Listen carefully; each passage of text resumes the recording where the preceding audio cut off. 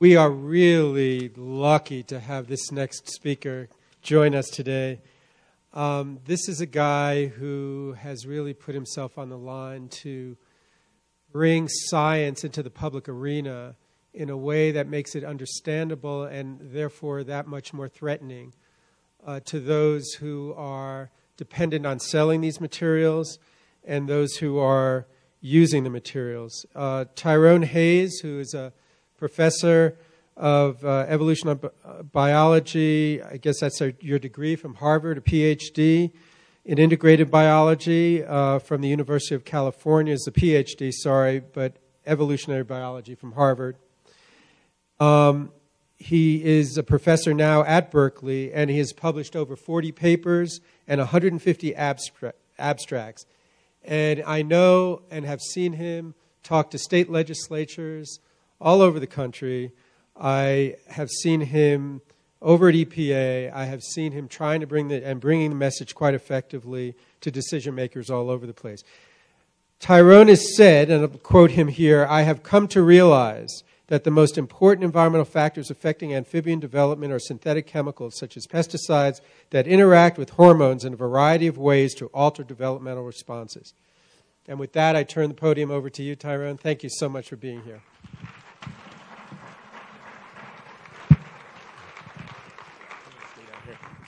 I'm, I'm short too, so I'll stay down here. Um, and, and I don't know, we're kind of off on the time, so just throw a brick at me when I'm done.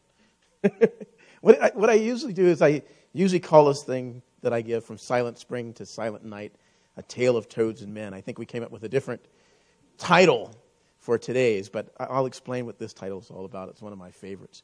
Before I do, as always, and I'll shoot right through this, I always give my acknowledgments, my thank yous first, because I am nothing without the list of people that I'm about to present to you now.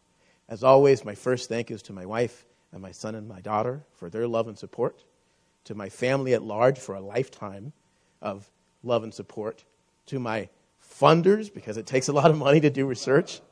And this is also my disclosure. I have worked for one of the big, with, for one of the big five, Novartis, Syngenta. Um, but as you can guess, they, they don't really hang out with me so much anymore.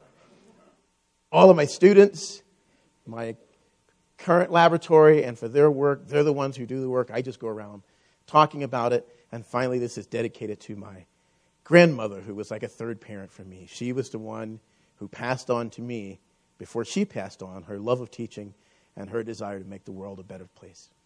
So, to my grandmother.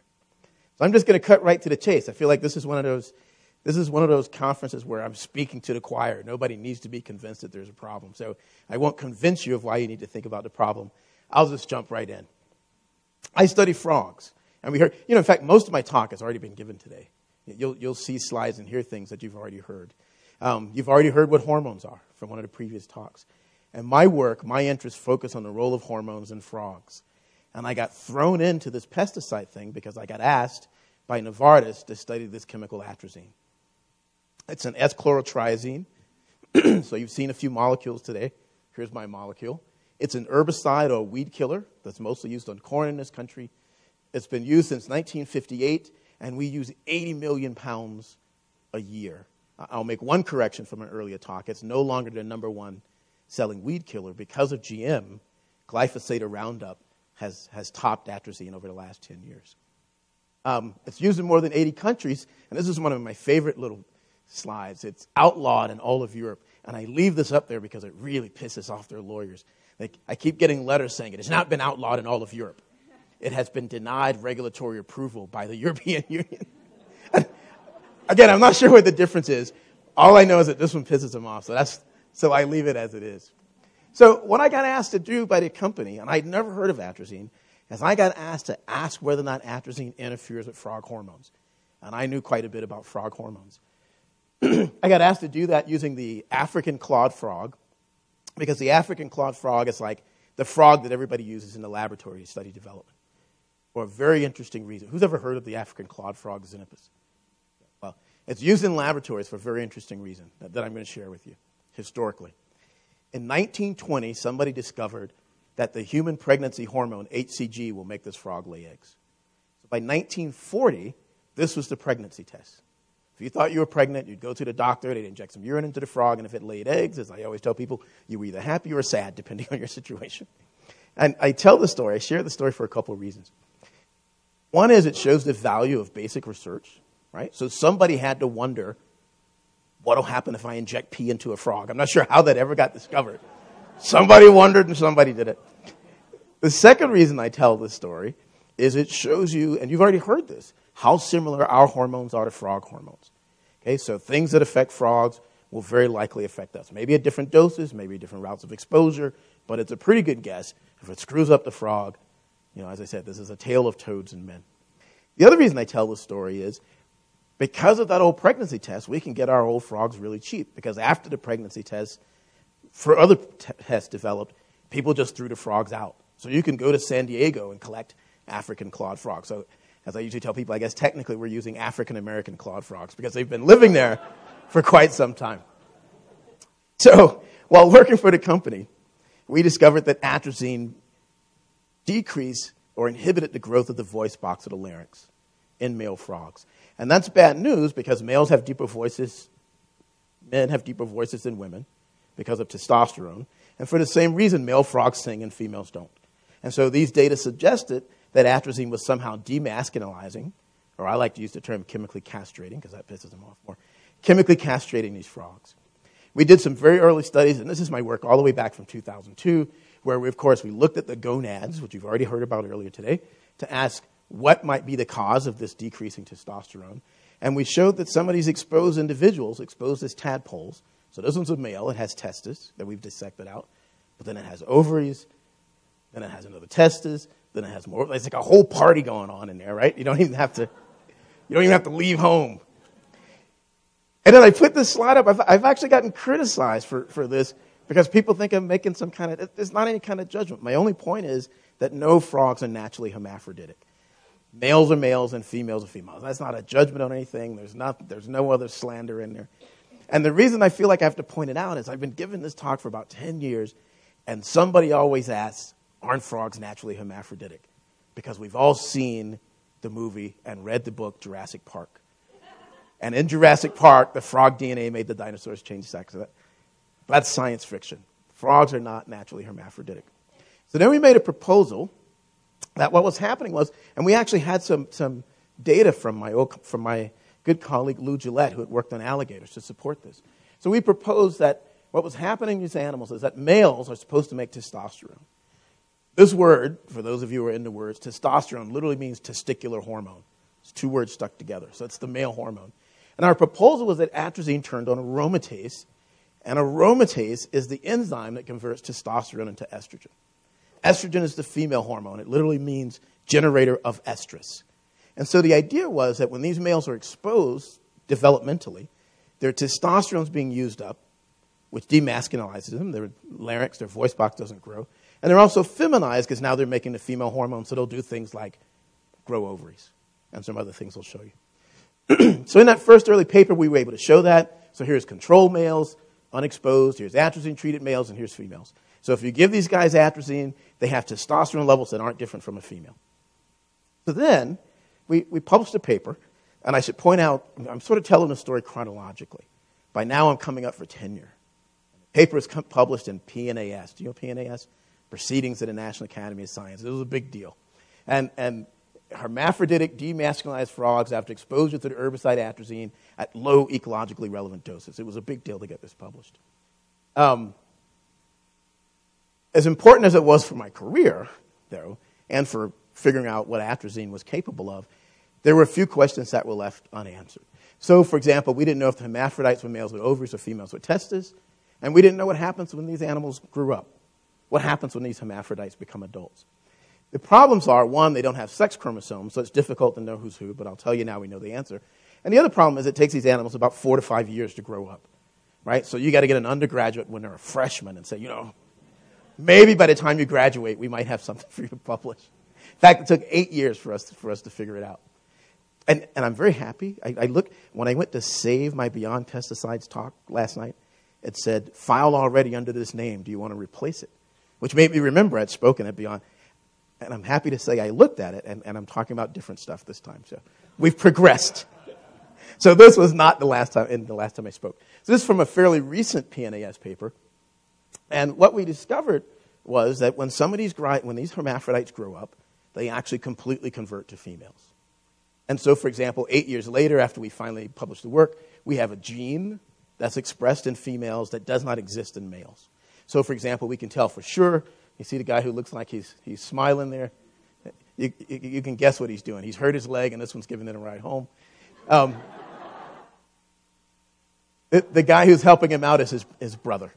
So we figured out that about 10% of the males that are exposed to atrazine completely turn into females. So they lay eggs and everything. Other than the genetics, you cannot tell them from normal genetic males. So they're completely converted into females. They make enough estrogen that they completely convert. In fact, he is a grandmother now, right? That's not something you hear every day. So he is a grandmother. The other things that we did was I wanted to know what happened to the other 90% of the males. Because I had tenure at this point. I could take the time to figure out the whole story. And so we did these real simple experiments that I call the pool party experiments. And these are experiments where we put in females, and then we put in four unexposed males and four atrazine treated males. Guys are thinking those aren't the kind of odds that I like in the club. But, eh, but the idea was to see if these guys could compete. If the atrazine treated males, the ones that didn't turn into females, are they otherwise normal? And so it was a real, real, real simple behavioral test. We put them in the pools at 7 p.m. The lights go out, and then the next morning we just look at who got lucky and who didn't. And there's surgical stitching in there so we can tell them apart. Otherwise, we don't know. So it turns out that you do these trials over and over and over again, and it turns out the atrazine treated males almost never win. So even though they didn't turn into females, let's just say they're not competitive as males. So I'm an endocrinologist. I study hormones, so I have to do more than observe behavior. We've measured their testosterone levels, and as you might guess, the controls have a lot more testosterone on average than the atrazine treated males. What's more important is if you look at who made the love connection in these trials, turns out there's kind of a threshold, and most of these atrazine treated males just don't have the testosterone. And we don't know if that means that the females don't like them or if these guys just beat them up and they don't have access to the females. All we know is by the time the morning comes, these guys with the low testosterone lose. But then we did another series of experiments that I often call the Motel 6 experiments. In this case, we just put animals alone with females and asked, can you perform in the absence of competition? We know you're not competitive, but are you competent? And the way we measure competency is you can't really do like a sperm count in frogs because they don't have a bolus ejaculate. You know, we can talk about that later. It's, it's lunchtime. So the way we assess that is we leave them alone in the motel room overnight, and then we collect the eggs and we just look at how many eggs they fertilize. So this is a measure of fertility. And it's a real complicated assay. So here's an unfertilized egg. These eggs are developing. And the, and the way you get your results is you just have an undergraduate sit there and go one, two, three, four. Make sure they can count well. Math majors, important. When you do that, control males fertilize about 85% of the eggs and atrazine treated males only about 15%. So there's a clear difference in their fertility. So they're not only are they not competitive, they're not competent. It turns out they're not competent for two reasons. One is they don't even try. So if you observe them, they sit there and they watch the females lay eggs. So they don't even, as the young people say, they don't even bust a move. They don't even throw a line out there, so to speak. The other thing is, even when they do, if you look at their testis under the microscope, okay, you find out that the control males, here's a testicular tubule, are full of sperm, whereas the atrazine treated males have testicular tubules that are basically empty with a little bit of cellular debris. So they don't have enough testosterone to show behavior, and even when they do, they don't have enough testosterone to maintain their sperm. So, so again, that's bad news. Bad, bad news for the company, good news for me. So here's another PNAS paper. Atrazine induces complete feminization and chemical castration in male African clawed frogs. And again, I, I like to put words in the titles that, that make them unhappy. That's, that's just the kind of brother I am, I guess. So then we ask some other questions. Is this just specific to African clawed frogs, or might all frogs be susceptible to this atrazine stuff? And we looked at North American leopard frogs, and here's, here's testis. So this is the gonads dissected out. And these are, I usually refer to this as the junk in the trunk. These are actually eggs that are bursting through the surface of this male's testis. Now, at this point, I started interaction, interacting with the Environmental Protection Agency. And this work was eventually published in Nature. Another one of those, I got promoted to full. You know. I, I, sent to the EPA, and I, and I still have the email. They wrote back and they said, Well, this is an interesting finding, Dr. Hayes. However, we do not think it is an adverse effect that would trigger review and regulation of the chemical. right? Because my wife tells me that there is nothing more painful in life than childbirth. And as I tell people, based on the G.I. Joe Kung Fu grip she had on my hand when my son was born, I got to take her word for it. Women are nodding. But fellas, a dozen chicken eggs in your testicle. Doesn't that seem like it should be somewhere in the top five? Right? EPA says it's not an adverse effect. I don't know. I guess we got to trust it. So the next thing we did was we wanted to know if these effects occurred in the wild. That's the other reason we studied the North American leopard frog. Is this a laboratory artifact or not? So here's a testis, and this is now an animal collected from the wild. And I'm going to show you what's called a transverse serial cross section. So just imagine I'm slicing a salami. I fold out a slice. The color's different because of the stain we use under the microscope. And I blow that up, which is what the microscope does. And so here are testicular tubules, but these are eggs instead of sperm. So this is in the real world. In the real world, these animals are growing eggs in their testes instead of sperm, just like we see in the laboratory.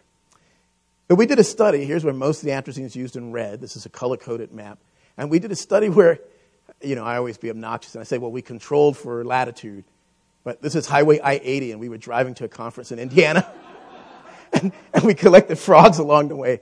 And see, and got a nature paper. That's fuel efficiency. and so it turns out every place we find hermaphrodites, we find atrazine and vice versa. And the reason this got published in Nature, this is important, and you, and you just heard about correlation, not showing cause and effect. So this is just correlation, except that we had the lab data to back it up. We knew that we could take frogs from here and raise them in the lab in clean water, and they wouldn't become hermaphrodites. And we could take frogs from here and put them in atrazine, and they would become hermaphrodites. So we knew it wasn't natural variation, and we knew it was more than a correlation. And so we got, we got the big, a bigger publication out of it. The next kind of question we want to ask, and this is a shot over Nebraska from the plane, is, is what are, how important is atrazine? Right? I mean, that's what we were focusing on, but how, how important is it really? And the reason I eh, was concerned is because they're not just using atrazine, they're using all these herbicides, all these fungicides, and all these insecticides, and that's just on one of those squares that you're looking at. Each square is using a different set. And so we did a huge experiment that I won't bore you with where we looked at all of these compounds individually or in combination, and, and it turns out well, I'll show you. It turns out we also looked at other interactions. So we showed that there are other factors that can affect development. So, for example, if the temperature goes up, that's a stressor. If the pond dries up, that's a stressor. If the tadpoles become crowded, that's a stressor. That, that may have nothing to do with us, not very likely, right? Agriculture contributes to climate change, contributes to desiccation and loss of surface water, which leaves the animals crowded. That crowding causes an increase in stress hormones, but we also showed that these mixtures of pesticides, which are more concentrated as the pond dries up, also contribute to increases in stress hormones. And that causes the release of pesticides stored in fat, which effectively increases stress hormones even more. So there was this incredible nasty interaction. And that resulted in damage to the thymus or to the immune system, which caused animals in the lab to develop meningitis in response to a flavobacterium and caused high parasite loads in the kidney and the liver in the field. So we had this incredibly important interaction between stressors, for example, which, if I didn't have the lab data and the field data, you would never guess why these populations were disappearing. You'd think it was disease, but in fact, pesticides and other stressors were playing an incredible role in terms of determining how susceptible the animals were to disease.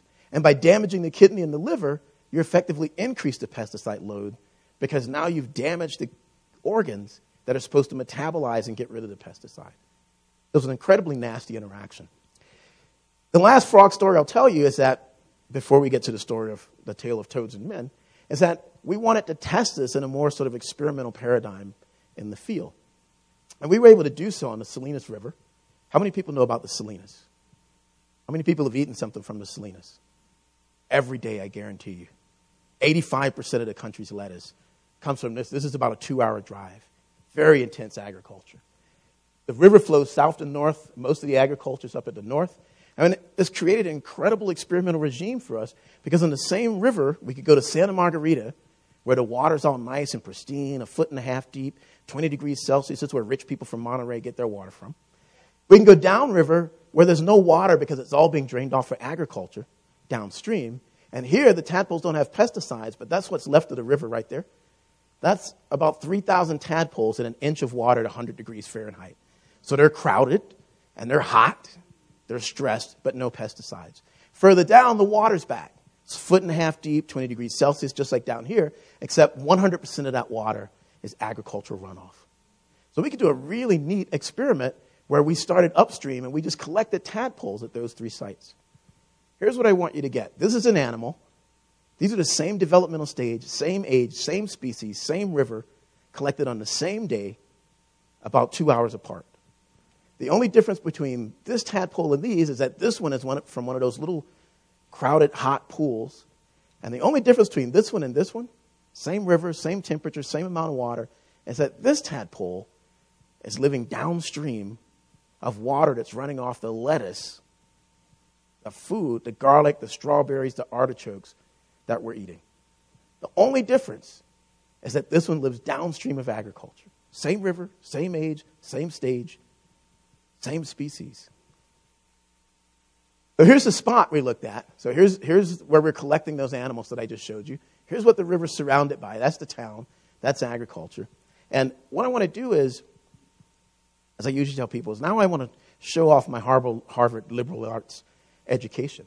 Because I want to switch and tell you what John Steinbeck had to say about Salinas in 1952. It's, it's quite relevant. I'm going to go over here where I can read it off my computer. In 1952, John Steinbeck wrote Salinas was surrounded and penetrated with swamps and tule filled ponds, and every pond spawned thousands of frogs. With the evening, the air was so full of their song that it was a kind of roaring silence. It was a veil, a background, and its sudden disappearance, as after a clap of thunder, was a shocking thing. It is possible for the night the frog sound should have stopped. Everyone in Salinas would have awakened feeling that there was a great noise. In their millions, the frog song seemed to have a beat and a cadence, and perhaps it is the ear's function to do this, just as it is the eye's business to make stars twinkle.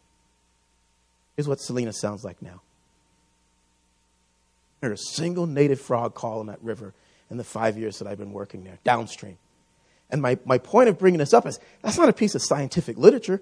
There's no scientists, there was no science going on, but the frogs and their millions and their song was such a part of the landscape that a literary artist wrote about it in 1952. A literary artist wrote about it. It was such a part of the landscape. Now it's Silent Night. Reason I include it in there because it shows you what an impact. We introduced atrazine and other pesticides starting about 1958 to Salinas. And I'm not going to tell you that the frogs are gone just because of atrazine and pesticides, but this is a paper I published with my graduate students, the five ultimate causes of amphibian decline on the river and otherwise, we think, are introduced pathogens. Those are important, but we know that there's an interaction with pesticides. Atmospheric change, that's a stressor that we know is having an interaction. Habitat modification or loss, we know that's a reality when you build a farm, you, right? And invasive species, which also come along with agriculture. But these pesticides are playing an integral role with these other factors that we think is incredibly important. Oh, these are what I call words from my former sponsor. Can't bring myself to say them out loud, so you can read them. Different perspectives. Yeah. So the reason I call this from Silent Spring to Silent Night, and I know you know all about Rachel Carson, I talk to many young people who don't, is because in much the same way that Rachel Carson taught that our silent spring and the birds disappearing and the role of pesticides was telling us something about ourselves I believe that our pending silent night, or our silent night that's already come in many places, are also telling us something about ourselves. Over 70% of all amphibian species are in decline. This is a group of animals that have been around since the days of the dinosaurs, and we're losing species now faster than the dinosaurs disappeared from them. The sixth mass extinction, many people believe that is the first time that a mass extinction on Earth will be caused by a single species. You've also heard about the connections between environmental health and public health. This is my favorite slide to illustrate that. This is a place in Nabugabo in Uganda where I used to work, where the runoff from this crop, which goes into these containers, is the sole source of cooking, bathing, and drinking water for this village. And I use it because they don't have a fancy EPA or an FDA in this village. But if I tell, told these guys about the poor health of animals in the water, like I've been showing you, the connection between environmental health and public health is clear. But we live in this here's my village, my water just comes from there. It's no different, except that we don't have to take a yellow bucket up there and get the water, and we make these assumptions that we have these agencies that are protecting us from chemicals like atrazine, so nothing bad would be in our water. Well, like I said, I'm preaching to the choir. Most other people I talk to think that. A colleague of mine wrote in Ecoepidemiology the occurrence of an association in more than one species and species population is very strong evidence for causation. Now, what I've told you about is more than one species, it's multiple, or more than one population, but multiple species generate families of frogs. And I've told you about more than just correlation, I've told you about experimental evidence supporting the impacts of atrazine and pesticides on amphibians and their declines. What's more, though, is it's not just frogs. I'm going to show you that there are data in fish, birds, reptiles, and mammals, including humans, that show very similar things. Now, the data I'm going to show you now come from a group of scientists that I've worked with, and actually, just as only half the group. I emailed everybody in the world who worked on atrazine, and we've written a couple papers, in part in response to the industry's charge that's just some crazy black guy from Berkeley claims that frogs are a problem. Now, I'm not denying any of the parts of that. I might be a crazy black guy from Berkeley. I'm fine with that. But my frogs and my science and my studies on frogs aren't the only ones showing that there's a problem. They try to point everybody, they try to detract away from the other science by pointing these fingers at me and making these sort of nasty public things, which some of you may have heard about. So here's one of the papers we published 22 authors from 12 different countries. I managed to introduce the term gonadotoxin into the literature in this paper. Again, because it pisses them off, and that's just the kind of brother I am. So here are the problems with atrazine, as I told you. It decreases testosterone and causes sperm to go down. I told you that happens in frogs. And let me, everybody I'm putting up here now, all these co authors, I had never met them before and, and didn't even really know their science. But here's the things we discovered. So here's my frog, sperm in the testes, give him atrazine, no sperm. This is a guy from Belgium with fish. Sperm in the testes, give him atrazine, no sperm. This is reptiles. This is a caiman. It's like a large alligator in Argentina. Sperm in the testes, give him atrazine. They look just like my frogs. This is rats. This was done in Croatia and in Nigeria. Uh, this is all peer reviewed, published data. Testicular tubules with sperm, give them atrazine, no sperm. And this is a new colleague from Pakistan who's shown you take quail, they have sperm in their testes, give them atrazine. Doesn't matter what animal you're looking at. And you saw the big chart earlier from, from TEDx. Same thing's happening to everybody. The route exposure might be different, and the, and the important concentrations might be different, but the same effect occurs. Doesn't matter if you're looking at fish, amphibians, reptiles, birds, or mammals. Whether or not testosterone goes down has also been shown in multiple species. But what's more important now, or not more important, but equally important, is my colleague Shanna Swan from Sinai showed the following. If you look at men in Columbia, Missouri, what she calls subfertile men have about 0.1 parts per billion atrazine in their urine. So men who have low sperm count, who can't get their wives pregnant, have about as much atrazine as their urine, in their urine as it takes us to chemically castrate a frog. Now that's just correlation, but remember that atrazine knocks out testosterone and sperm in fish, amphibians, reptiles, birds, and rats, mammals like us. What's more is now, if you squash the data down, so I've just I've done a fancy PowerPoint trick. Here's some data from California. So these aren't my data. This is somebody else's data. I don't even know this person. But they show that here are levels of atrazine in field workers, and now here are atrazine levels in men who apply atrazine. Men who apply atrazine have 2,400 parts per billion atrazine in their urine. That's 24,000 times higher than we know is associated with low fertility in men in Columbia, Missouri. Men who apply atrazine have 24,000 times the atrazine in their urine than we use in the laboratory to chemically castrate frogs and fish. One of these guys could pee in a bucket. I could dilute it 24,000 times. I could use the atrazine in their urine to chemically castrate and feminize 24,000 buckets of 30 tadpoles each. Now we're getting into, and I won't, I won't even go into it here because, again, I'm preaching to the choir, a segment of our population that we already know there's a health disparity. There are health disparity outcomes. And you name the disease. For black people, it's everything except broken bones. We got strong bones. But in any kind of health, any kind of health condition, cancer, you name it, black and Hispanics are at greater risk and usually have poorer outcomes and are more likely to live in and work in areas where they're exposed to chemicals that we know are associated with these same illnesses. A former sponsor feels different. So, does atrazine turn on aromatase and increase estrogens? We're not going to worry about egg production in mammals. That's not going to happen. But what you worry about for estrogen and aromatase in mammals is breast cancer and prostate cancer. Two of the top cancers. I think lung cancer comes up and peeps up and tops these every now and then, but two of the top cancers that are of concern. With regards to prostate cancer, there's an 8.4 fold increase in prostate cancer in men who work in their factories and bag atrazine. They published this. This was done in their own factory. I didn't publish this, they published this from their own factory. San Gabriel, Louisiana. With regards to breast cancer, there's at least one correlational study that shows with a p value of 0.0001, women whose well water is contaminated with atrazine are more likely to develop breast cancer than women who live in the same community but don't drink the well water. And this work was done in Kentucky, which is where I was yesterday, or two days ago. And they got to look at those data. Again, I didn't publish that. That's just a correlation, but if you look at rats, testosterone goes down when you give them atrazine, and estrogen goes up. Just like I've told you for fish and frogs and birds and reptiles, now rats, mammals like us. What's more is, their own studies showed in 1994 that if you give rats atrazine, there's an increase in breast cancer and mammary cancer in rats. Didn't do this. They did. They published this themselves. Somebody mentioned earlier, what about mechanism? As I told you, half my talk was done earlier. What about mechanism? The mechanism is the following. We've published two papers, but I'm going to show you a paper published by their own scientists where they took human cells, these are adrenal cells, and they normalized aromatase and estrogen production to one. And if you give these human cells atrazine, they express aromatase and they start making estrogen. Like we've shown in fish, just like we've shown in amphibians, just like they've shown in reptiles, just like they've shown in rats. Lo and behold, human cells respond the same way.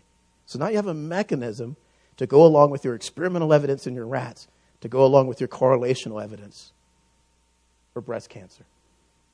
What's more, as one of my graduate students has shown now, if you take breast cancer cells and give them atrazine, they start expressing aromatase and making estrogen. Breast cancer cells. Now, here's why that's important. Breast cancer, you already heard how hormones work. There's a lock and key mechanism. So here's the estrogen receptor. You already heard earlier today that cancer often involves mutations in the DNA. But that's not really what gives you cancer. What gives you cancer is that when this cell grows and divides and spreads. That's what cancer is.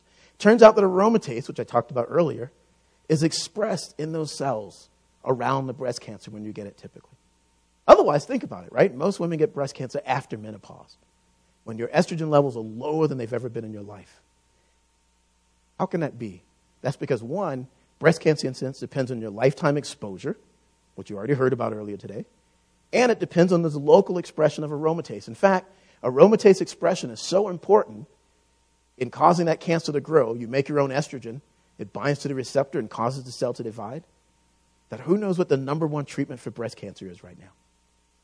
The chemical called letrozole that knocks out aromatase and decreases estrogen so that those cells, when the DNA is damaged, don't turn into a tumor.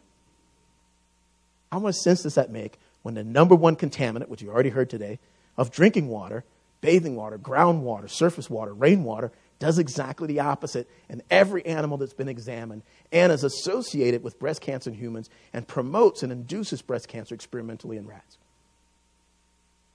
Here's where I get in trouble. The same company that's given us atrazine since 1958 now makes letrozole. See, I'm not making this up. You can Google it.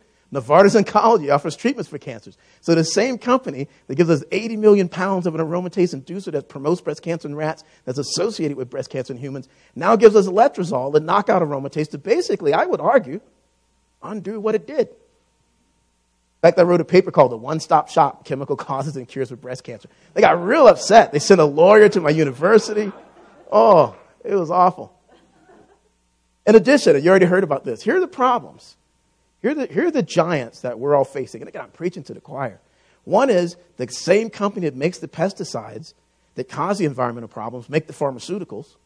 And not only that, the chemical companies make them own 90% of the seeds. And this is a diagram showing the big five are here the size is showing how their, their relative influence. And these are all the seed companies that they're connected to. 90% of the seed are owned by the companies that make the pesticides, that make the pharmaceuticals, that not only want you dependent on their seed, but because they're ultimately owned by chemical companies, they want you dependent on the chemicals as well. Here's the other big part of the problem, which you've already heard about today.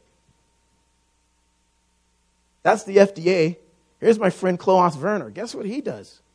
First, he worked for the EPA in the scientific advisory panel reviewing my work for atrazine.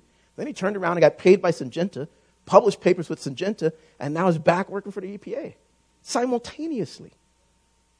So there, are the, there are the problems. I would argue that my love and study in this aquatic organism has told me quite a bit about this aquatic organism. That the things that we're studying in frogs are relevant to the things we're studying in humans. Some might question that, but I would argue that my tadpole, trapped in a contaminated aquarium, trapped in a contaminated pond, is no different than this organism trapped in a contaminated amniotic fluid, dependent on the same hormones as my frog. And studies now show that we're exposed to over 300 chemicals before we leave the womb, most of which we have no idea what they do. We use rats to get things on the market, but the industry argues that rats aren't humans, and so we can't use those studies to get things off the market. Atrazine causes prostate and mammary cancer in rats. It causes immune failure in rats, which we've also shown in frogs. And these are all published data. It causes neurodamage in rats when pregnant mothers are exposed. And here now is the work that changed my life. Not my work. This is published in the literature. An EPA lab showed that if you give pregnant rats atrazine, it'll cause an abortion. It creates such a hormone imbalance that the rats can't maintain the pregnancy. A second EPA lab showed, this is all peer reviewed and published, that if those rats that don't abort, the sons are born with prostate disease. A third EPA laboratory showed and published that if those rats that don't abort, the daughters of the exposed mothers are born with poor breast development, and essentially their offspring have retarded growth and development because they can't make enough milk. Here's what changed me profoundly from a little more than a boy who likes frogs. This rat affected by atrazine that its grandmother was exposed to. This rat never saw atrazine. This rat was affected by atrazine that its grandmother was exposed to. When I think about my little girl, it gives me a whole different vision for, for myself, right? We, we publish in the, in, the, in, the, in the Ivory Tower, PNAS Nature, these things that mean so much to our promotion and our academic colleagues. We publish it in places that 99.9% of the world don't have access to. My mom once asked me, How important is that magazine if I can't get it in Barnes and Noble? I, I, I had never thought about it that way. Our grandchildren could be affected by chemicals that we're using today. Our granddaughter's granddaughter could be affected by chemicals that we're using today. You already saw this graph earlier. I was going to show it to you. I'll show it to you again. That it's not just some imaginary thing. I've told you that there are birth defects in rats, but there's a correlation between birth defects and conceptions that occur during peak atrazine. What's more is, and this came, about, came out about two years ago, let me read to you their conclusion, and this was published by the Center for Disease Control. Maternal exposure to surface water atrazine is associated with fetal gastroschisis, particularly in spring conceptions. Now, I never heard of that condition. I can't even, I can't even pronounce it, but I can show you what it looks like. Here's another one that just came out a couple months ago. And this is a report from the National Institutes of Health. And let me read to you. Their conclusion was that maternal exposure to a common herbicide atrazine is associated with nearly twofold higher risk of having offspring with a rare birth defect of the nasal cavity, choanal atresia. Again, I don't know if I'm pronouncing it right, but here's what it looks like. These are just correlations right? That's what you hear. Oh, it's just a correlation. But I've shown you the evidence and everything from fish all the way up to rats who are supposed to represent us. That profound change has, has, that I talked about has been manifested in many ways. I was told when I got involved in this, don't be an advocate, Tyrone. Let the science speak for itself, my PhD advisor said. And, and for many of us, scientists in the ivory tower, that's, we take that attitude because, that, because that's how, we ta- how we're taught. But when the manufacturer said stuff like this, when they say stuff like this, Syngenta assumes no obligation to update forward looking statements to reflect actual results. That's on their website. right? Like, one, who says shit like that? And when the EPA says things like this, this was in a news uh, press release, the ultimate decision, and they were talking about my work, is much bigger than science. It weighs in public opinion. And so when I thought about this idea of letting the science speak for itself, when in fact all of my science was being spoken in PNAS, in nature, in places that don't have access to the public, then I knew that I had a completely different responsibility. One, as an academic scientist, but two, to make sure that information is available wherever it's needed and whoever would tolerate me for 30, 40 minutes to talk about. So now I have a different philosophy. I love my advisor, but I think times have changed. He said, this other person, those who have the privilege to know have the duty to act. I figure I didn't grow up privileged, I can assure you, but I've had the benefit of some really fancy education, and I know what's going on, I believe. Those who have the privilege to know have the duty to act. I wish more of my colleagues would follow that philosophy. This guy said that, by the way.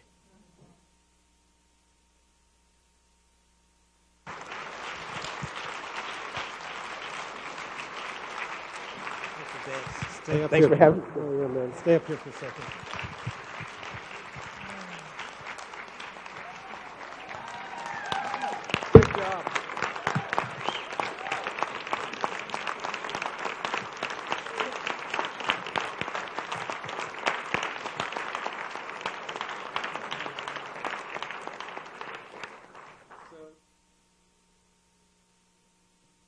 Won't come as a surprise to any of you that uh, Tyrone will be the recipient uh, this year of the Beyond Pesticides Dragonfly Award. And I'd, I'd like to read to you what, what we say here. This is the Beyond Pesticides Dragonfly Award in honor and appreciation of Tyrone Hayes, University of California, Berkeley, for tireless dedication advancing research, knowledge, and action to protect health and the environment.